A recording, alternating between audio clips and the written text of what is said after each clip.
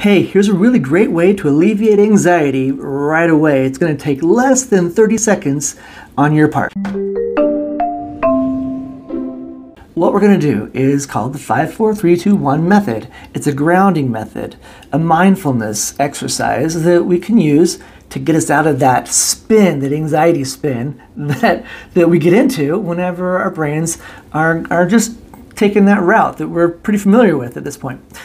With the 5 4 3 2 1, however uh, that looks like, you first of all look at five things in your vision. I see a picture, I see a light, I see another light, I see a certificate, I see a TV monitor. Next, we do four things we can feel.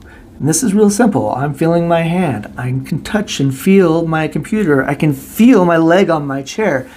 Um, my rear end kind of hurts. It's been a long day. I can feel that.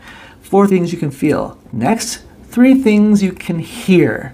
Now this is an easy one for me. I have ringing in my ear almost all the time. So there's one. I hear the cars outside in the parking lot and in the drive or in the street nearby going along.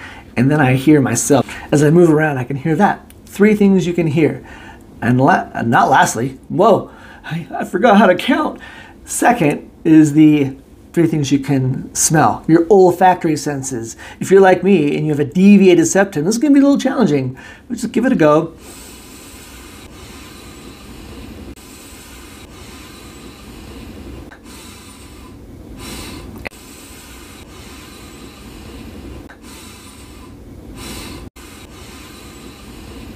I smell a bit of a staleness and um,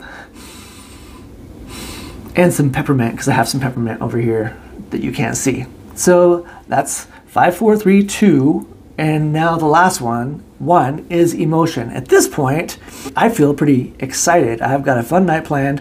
I'm gonna go to a comedy club, date night. It's gonna be a good time. So I just feel excited.